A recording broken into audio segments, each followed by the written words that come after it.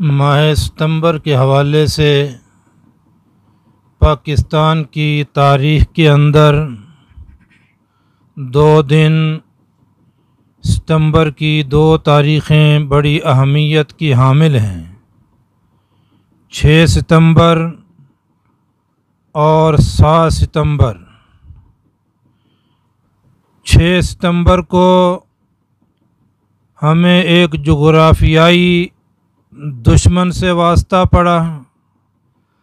सात सितंबर को हमें एक नज़रियाती दुश्मन से वास्ता पड़ा। सात सितंबर 1965 को जो दुश्मन आया, बड़े कर फर के साथ, बड़े गुरूर और तकबर में, फ़तह के नशे के अंदर चूर होकर आया।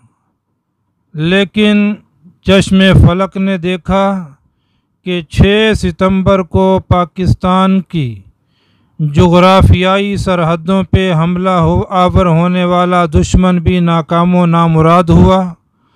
उसको शिकस्त, ज़िल्लत और रसवाई का सामना करना पड़ा।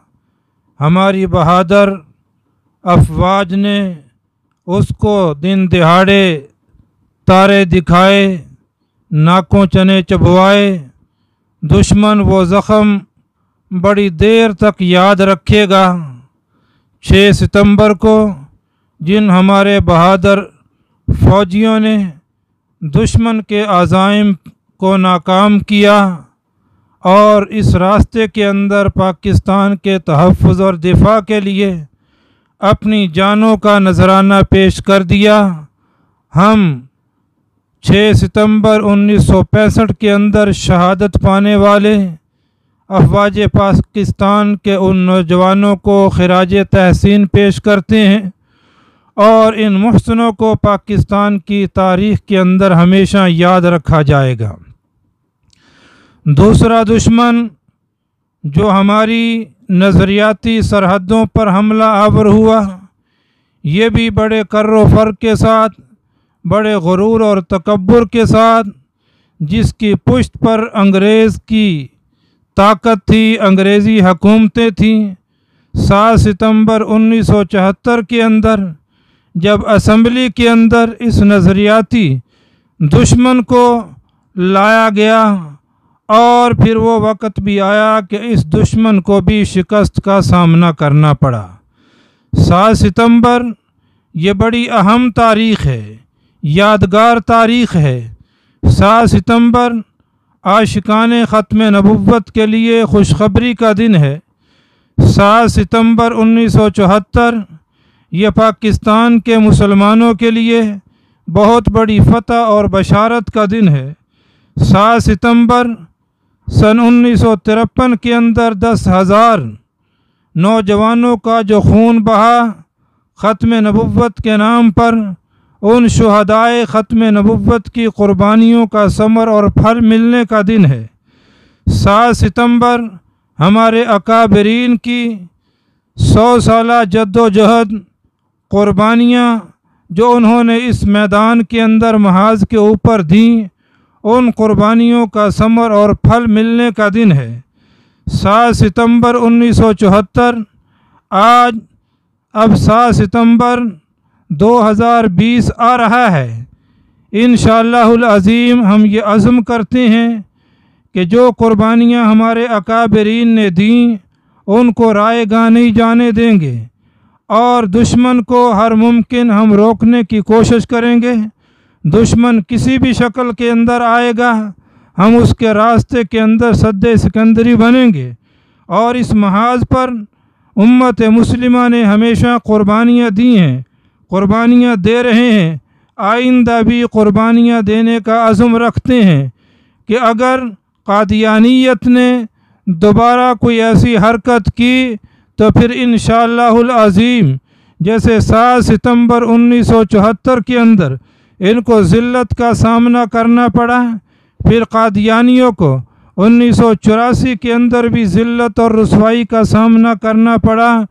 तो इन ये 2020 का सितंबर भी कादियानियों के लिए शिकस्त का दिन होगा और इस पाक धरती से इनके नजस और गलीज वजूद को यहाँ से साफ़ कर दिया जाएगा। हम हर साल सात सितंबर के हवाले से सरगोदा की सरजमीन पर आलमी मजलस तहफ़ ख़त्म नबूत की तरफ़ से तहफ़ नामूस रिसालत तहफ़ ख़त्म नबूत रोड कारवां निकालती हैं। जैसे गुज्त सालों में बड़ी आबोताब के साथ, बड़े ही पुरअमन और मनज़म तरीके से हमारा ये रोड कारवां निकलता रहा। इन अज़ीम, सन 2020 के सात सितंबर को भी ये रोड कारवां तहफ़ ख़त्म नबूत के अनवान से अपने मरकज़ी दफ्तर आलमी मजलस तहफ़ ख़त्म नबूत सरगोदा फ़ातमा जना रोड से इन अज़ीम सुबह नौ बजे अपने मुकर रूट के ऊपर रवाना होगा। इस हवाले से मैं तमाम अहल सरगोदा को, मुसलमानों को, बिलखसूस अकीदा ख़त्म नबूत से वाबस्तगी रखने वालों को और आलमी मजलस तहफ़ ख़त्म नबूत से महब्बत रखने वाले तमाम मुसलमानों को पुरजोर दावा देता हूँ कि वह इस रोड कारवां के अंदर भरपूर तरीके से शरीक हूँ। अपनी गाड़ी, मोटरसाइकिल, जो भी बाइक अल्लाह ने दी है, वो लेकर आएँ। इन अज़ीम, हमारा इस साल का ये रोड कारवां गुज्त तमाम सालों के रिकॉर्ड को भी तोड़ देगा। और बड़ी आबोताब के साथ ये रवाना होगा। इसके अंदर तमाम जमातों के अहबाब शिरकत फरमाएँगे। आलमी मजलस तहफ़ ख़त्म नबूत की ज़िली और तहसील की क़्यादत के अंदर ये रोड कारवां इन रवा दवा होगा और हर साल ये इन निकलता रहेगा। जब तक इस रुए ज़मीन पर एक भी आशिक रसूल मौजूद है, ख़त्म नबूत का मुहाफ़ मौजूद है, ख़त्म नबूत के नाम पर नामूस रसालत के हवाले से हमारे ये प्रोग्राम इन अज़ीम जारी और सारी रहेंगे। फिर सितंबर के बाद 19 अक्टूबर को हमारी मरकज़ी ईदगाह की सालाना कॉन्फ्रेंस भी आ रही है। उसके अंदर, उसके लिए भी भरपूर तरीके से हमने तैयारी करनी है। इन अज़ीम, ये आने वाली कॉन्फ्रेंस भी हमारी सरगोदा की तारीख़ के अंदर एक अजीम शान और बेमिसाल तारीख़ी कॉन्फ्रेंस साबित होगी। मैं उम्मीद रखता हूँ तमाम अहल सरगोदा से कि वह इन दोनों प्रोग्रामों के लिए जद्दोजहद भी करेंगे, मेहनत और तैयारी भी करेंगे और बमाए अपने अहबाब के इसके अंदर शिरकत भी फरमाएँगे।